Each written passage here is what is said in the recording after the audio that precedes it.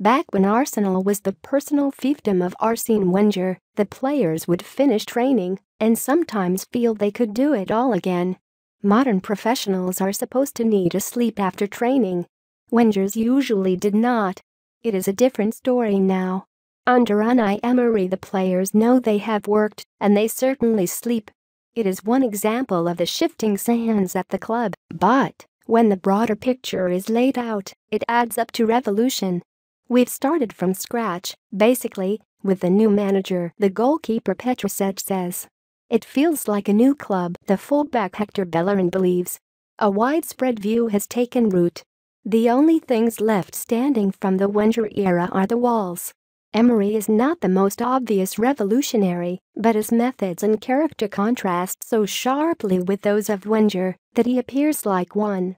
In terms of training, match preparation, communication, mentality and the approach to player development and care, everything is different. What's more, there is a good feeling in the dressing room.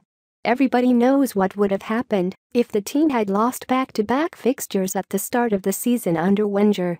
But when they did under Emery, against Manchester City and Chelsea, there was no panic.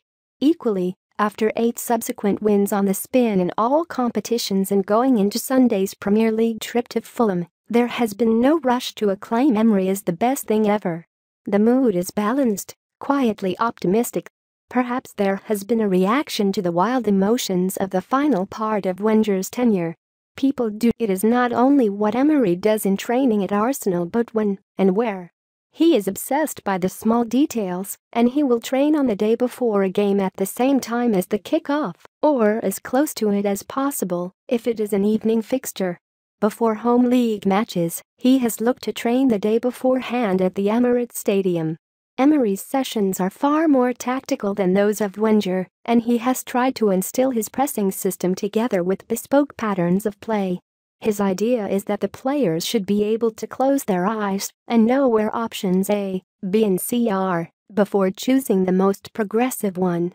He wants to generate superiority, in other words, have a man over in certain areas of the pitch, and he likes players who can play in more than one position.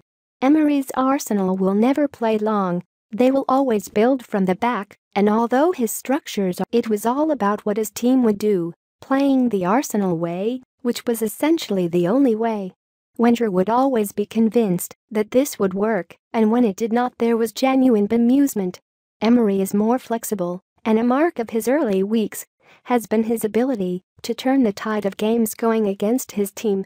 The 2-0 home win over Everton two weeks ago was a prime example. Arsenal did not connect in the first half. They are still coming to terms with Emery's demands, and they needed a string of saves from Cech to keep them at 0-0. But Emery made adjustments at halftime and they worked.